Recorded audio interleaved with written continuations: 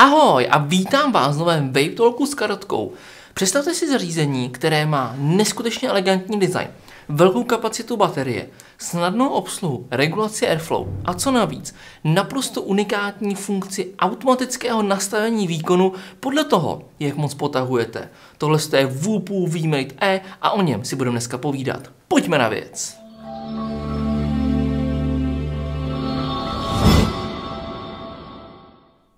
Whoopoo VMate E.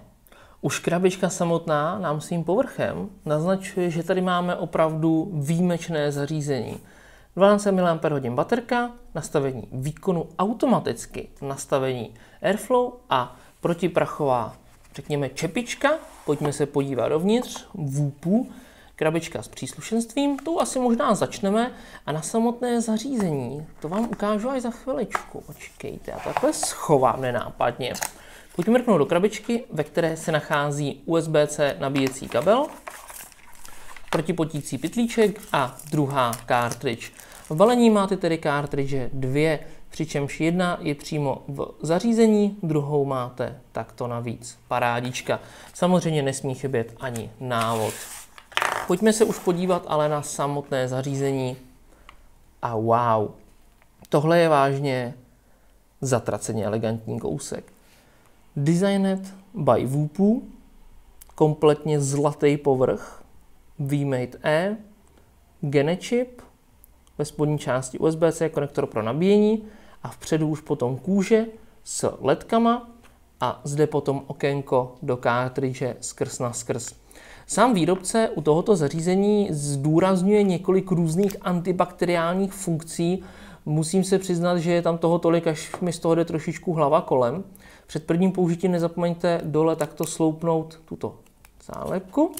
A z boku už máte potom plnící otvor, kterým stačí nalít likvid dovnitř.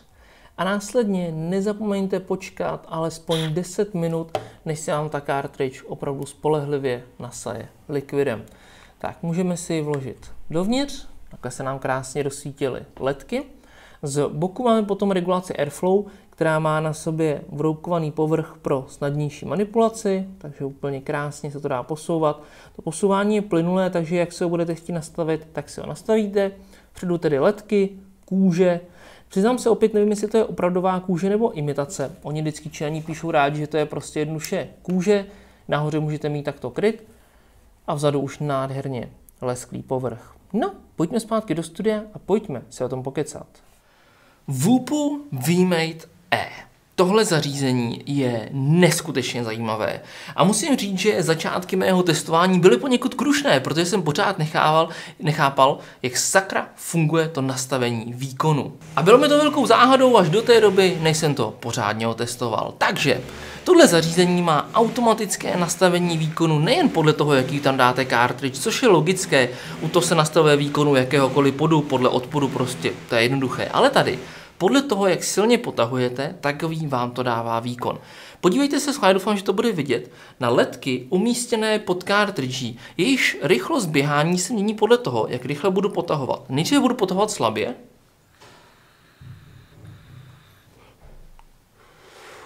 Ledky běžely pomalu. Nyní zkusím silněji.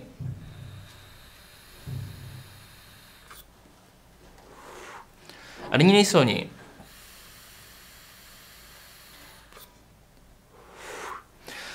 Uh, já fakticky doufám, že to bylo vidět, protože ta dvacítka, co v tom mám, mi trošičku zamotala hlavu.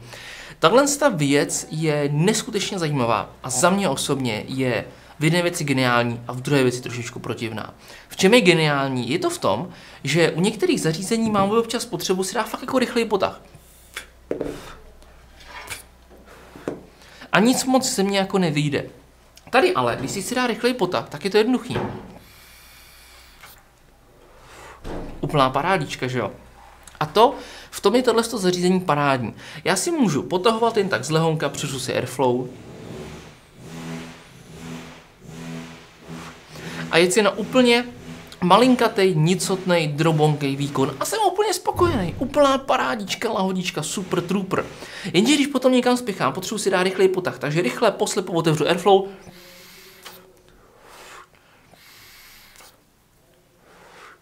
mám najednou mnohem větší množství páry, mnohem větší výkon a to zařízení mě uspokojí. V tom je tohle geniální.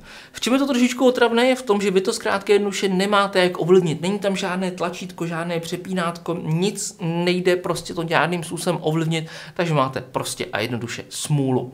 Strašlivě těžko se tady hodnotí výdrž baterie, protože každý z nás potahuje jiným způsobem. A vy si říkáte, ale tak to platí snad všude. No jo, ale tady, když silně potahujete, tak máte větší výkon, tím pádem větší spotřebu baterie.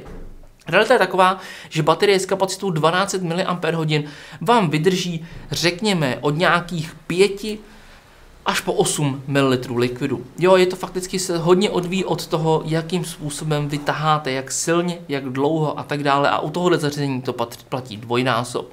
Nabíjení baterie je potom přes moderní konektor typu USB-C. Doba nabíjení je lehce přes jednu hodinu.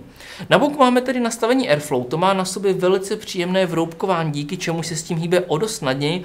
Na druhou stranu musím trošičku vytknout tu věc, že to nastavení Airflow by mohlo jít trošičku jak to říct, plynulej. Ono se to trošičku ochodilo. Když jsem to rozbaloval, tak to bylo o dost, eh, řekněme, složitější, nebo se to jako lehce zasekávalo. Už se to malinko ochodilo, ale pořád bych si to Airflow představoval, aby ten chod byl o ždibíček hladší.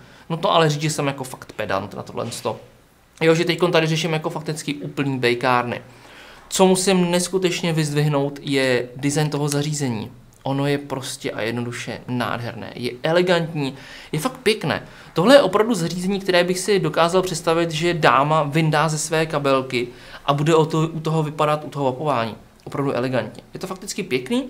Já jsem si vybral záměrně červeno-zlatou, říkal jsem si skoro až, jestli to není trošku moc dámský, asi jako jo. Ve finále mi to hrozně moc připomíná starý dobrý časy, kdy jsem bydlel u rodičů, to tak lidi dělají od třeba 0 do 18 let v mém případě, že jo, že bydlí u rodičů. A vlezl jsem do koupelny k rodičům, že jo. A mamka tam měla různý ty, ty laky na nechty, ty píčifuky, ty spreje, že jo, a ty všechny tady ty kosmetické věci, které my chlapi nerozumíme. A oni vypadali přesně takhle. Je to fakt jako strašlivě krásná věc. Moc pěkný.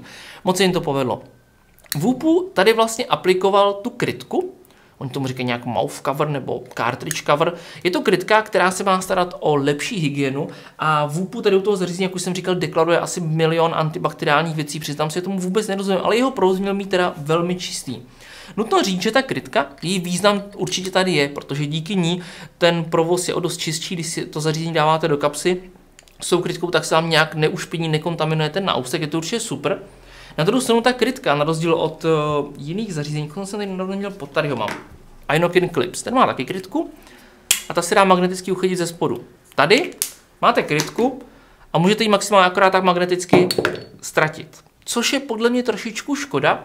Ve finále si musím přiznat, že tu krytku jsem nejvíce používal prvních asi tak dvě minuty, při vašem vlastně videu na stole a to je tak nějak všechno při natáčení těch pěkných záběrů, co občas jako vidíte, ale jinak ta kritika mě akorát tak jako překážela, abych furt něco sundával, hledal pro to místo. Je to možná škoda, Myslím si, že to šlo vyřešit nějakým magnetem nebo něčím třeba ze spodu, z boku, těžko říct, ale ta krytka zkrátka nuše nikde nemá úchyt. Tak, řekli jsme si, že to je opravdu nádherné a to tedy je, řekli jsme si, že se to zajímavě ovládá a teď jak z toho chutná.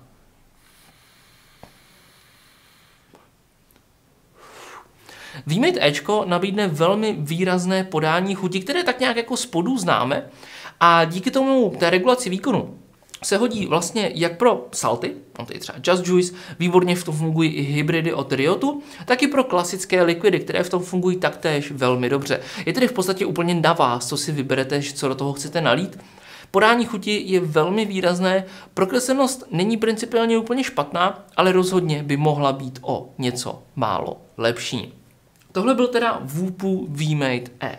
Jestli chcete jedno z nejkrásnějších zařízení typu pod, běžte do něj, protože je to fakt pěkný. A co navíc? Funguje to. Hoďte mi do komentáře, co říkáte na tady ten design. Mějte se strašně moc krásně a zase příště. Čau!